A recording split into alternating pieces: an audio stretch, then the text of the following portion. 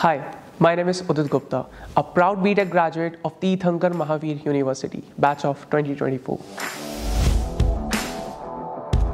Since my school days, I have a deep interest in technologies and computers, and I saw my future in this field from early age. When it came time to choose a college, I started looking for the top university for computer science. That's when I got to know about TMU, known for its practical approach to learning.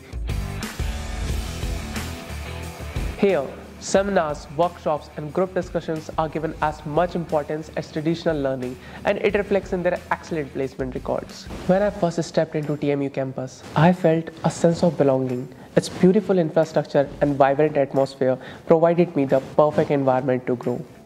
During my time at TMU, I participated in many activities and my passion for dance also found a stage here, helping me improve my skills and boosting my confidence.